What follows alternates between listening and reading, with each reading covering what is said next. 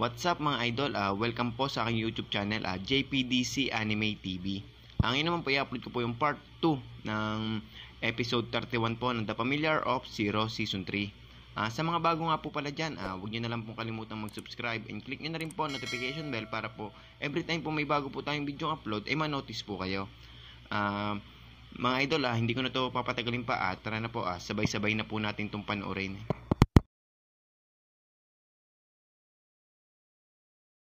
Sabi ko na nga ba, imposible talaga. Nakakaya kay Siesta kaya hingi ako ng tawad sa kanya. Tapos babalik na ako sa kwarto. Tama ba ang gagawin ko? Minsan lang mangyari to! Ano nang gagawin mo, Shesta? Kapag hindi mo pa ginamit ito, baka tuluyan na mawala sa'yo si Saito.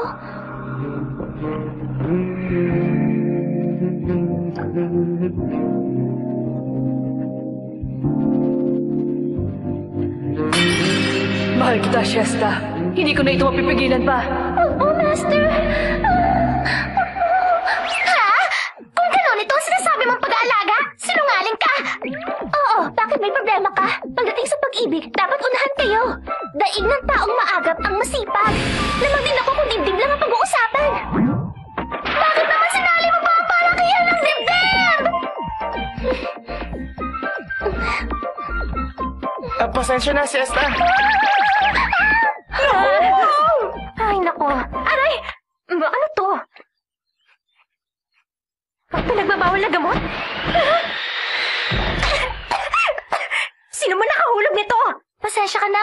Montmorency. Okay ka lang ba? Hindi! Dahil na lang ako ang gamot pagdating nyo. Oh, oh hindi! Lumayo ka sa akin! Bakit? Luis, ah, bakit ganyan ka makatingin? Luis, ngayon ko lang napansin na napakaganda mo pala. Tumitibok ang puso ko. Ah! Bitiwan mo ako! Nakakaya ang ginagawa mo! Ay, mas lalo kita nagugustuhan sa paraan ng pananalita mo. Ano ba? Babae ako! Ganun ka rin! Kaya hindi tama to! Wala akong pakialam sa bagay na yun. Huwag kang gagalaw, Luis, dahil kung hindi, sisirain ko ang damit mo. Hoy, Tabi ka! Pakiusap! Tulungan mo ako! Tutulong lang ako pagtungkol sa edukasyon. Maliban doon, wala na akong magagawa. Ano ba pinagsasasabi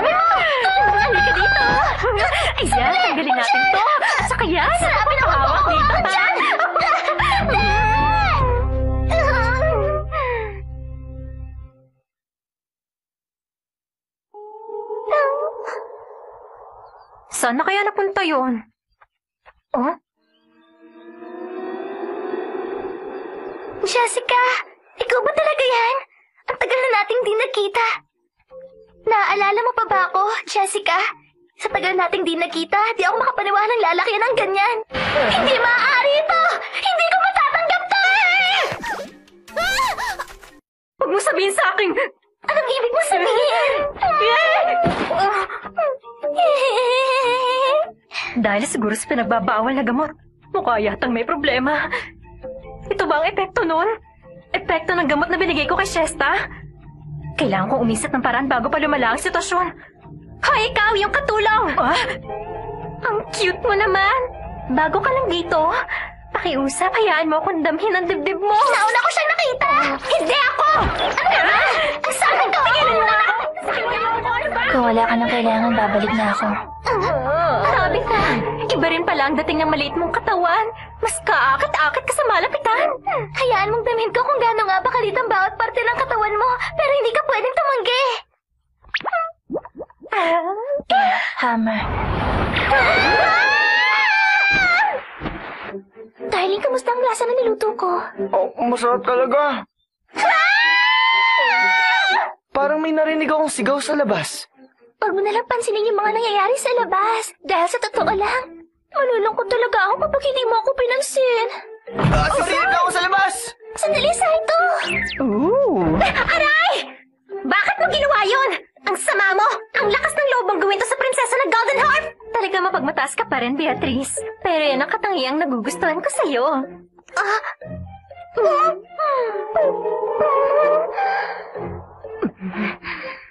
Ate Montmorency, pangako, makikinig ako sa kahit anong sasabihin mo asawa sa pamamagitan ng paghalik? Sa wakas, nahuli rin kita!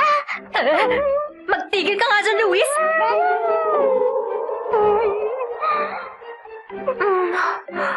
Ano ba itong kakaibang nararamdaman ko ngayon? Pag-ibig na ba ang tawag dito?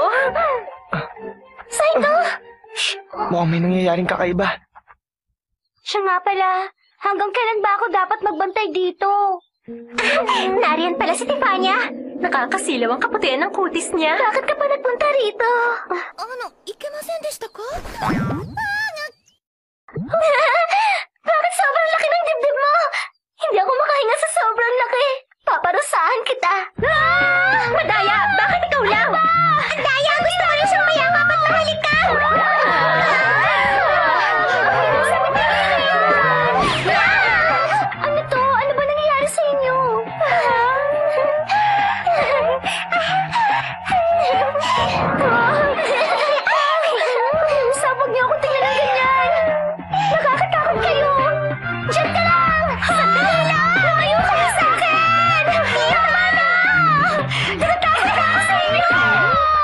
Si Ginoong Scaron ba yun? Wow, lalaking lalaki ang aking katulong. Hintayin mo ako. Kung iahambing ka sa toge, mas maganda ka. Para kang luya. Bilibini, kahit hindi kita kilala, natutuwa ako sa sinabi mo. Ang lalaki ng muscles mo. Ano kaya ang pakiramdam ng mayakap ng isang lalaki na may malalaki at matitigas na muscles na tulad na sa'yo? Ah, Luis! Ano bang ginagawa mo? Saito, long time no see! Sa totoo lang, ikaw ba rin ang pipiliin ko? Ano, ano bang pinagsasasabi mo?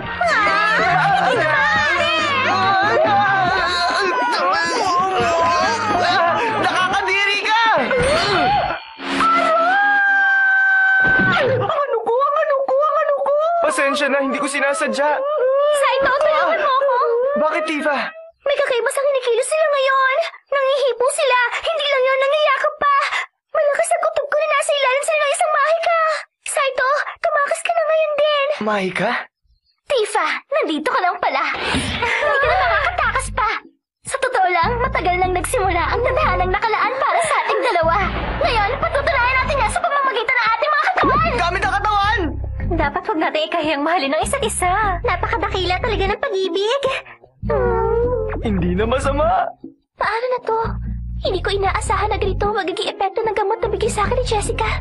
Halika rito, Tifa. Huh? A- a- ayoko sanang gamitin to sa ganitong sitwasyon. Pero kung dahil sa mahika, Nothis sa ewas. Haglas irbion.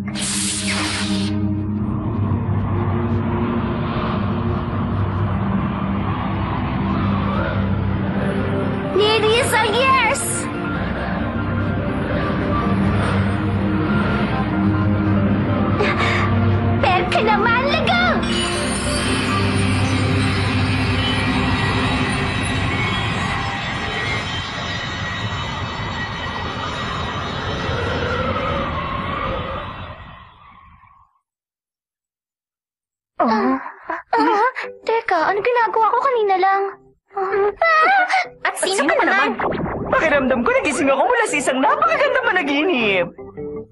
Sino ka? Anong ginagawa mo dito? Naku, lagot. Hindi tayo pwede manatili rito. Umalis na tayo ngayon din. Ay! Hintayin mo ako! Tifa, yung mahika kanina. Patawarin mo ako, Saito. Kayo rin. Nangyari ang lahat dahil nagdala ako rito ng isang uri ng kayuma. Gayuma? Ito ba ang tinutukoy mo? Ipinagbabawal ang ganitong uri ng gayuma. Sa'yo ba to? Akin nga, patawarin niyo ako. Ay, kalimutan mo na yon. Wala naman akong naalala at ayoko na rin alalahanin pa. Sa susunod, huwag mo nang uulitin to, ha? Oo.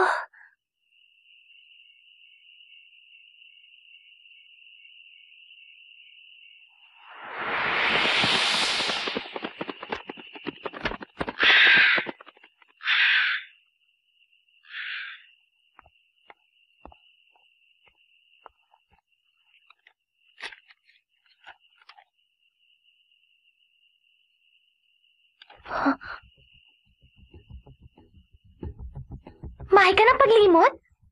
Oo. Yan lang ang mahi ka na kaya kong gawin. Kaya kong burahin ang alaala ng tao. Ngayon ko lang narinig ang ganong klase ng mahi ka. Sinaunang mahi ka? O hindi kaya... Oh. Wala rin akong gaano nalalaman.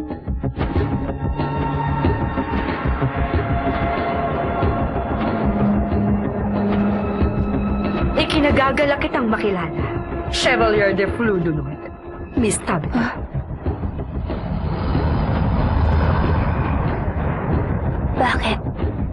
Bakit nandito ako at wala sa Galia? Gusto lang naman ng master ko na makuha ang apat na dragon. Naintindihan mo? Tama. Ang tinutukoy ko ay malapit lang sa'yo.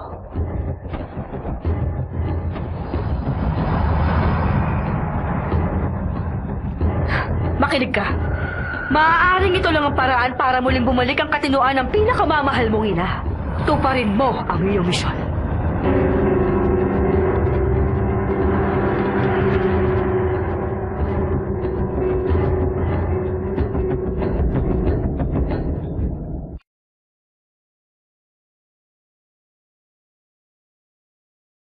Dito na po nagtatapos ang ating pong episode 31 po ng The Familiar of Zero ah, Season 3. Ah, yung next episode po natin, ah, abang-abang na lamang po ulit kayo sa ating pong next video upload. Ah, maraming maraming pong salamat.